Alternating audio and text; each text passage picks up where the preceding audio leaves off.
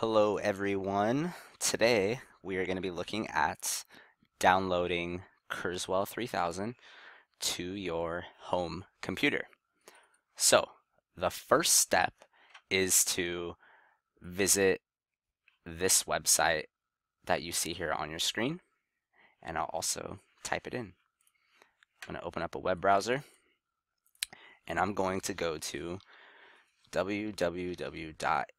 www.kurzweiledu.com forward slash K3 win and hit enter.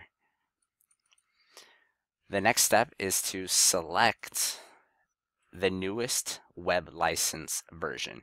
It's currently on version 15. When you download this software, it could be a later version. The important part is that we want web license. So I'm going to select web license and it's going to begin to download this file. And because it takes so long, I'm going to pause my video and I'll see you soon. Once your file has been downloaded, you will want to click on it to begin the installation.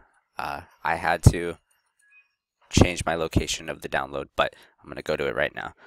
Um, and I can find it by going to my downloads folder here.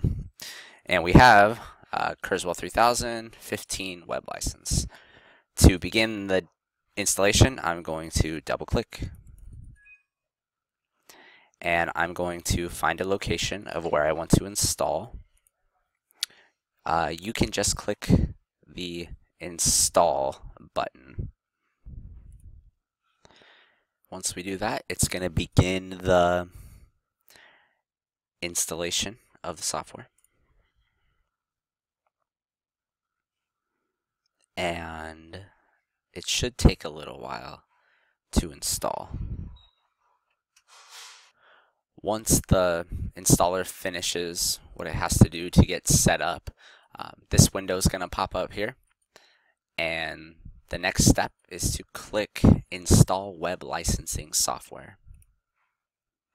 You single left click that. And it'll go through a variety of windows. We want to click Next. I accept the terms in the license agreement. Click Next. You, you can put in whatever you want here. Doesn't really matter. Click Next. I'm going to do a complete setup. Click Next. And then we click Install. And this should take uh, a few minutes. Now that the installation is complete, we're going to left click on finish. And it will require us to restart our system. Um, you're going to do yes. I'm not going to do it right now for the sake of this video, but you would click yes. And Kurzweil would be installed on your computer.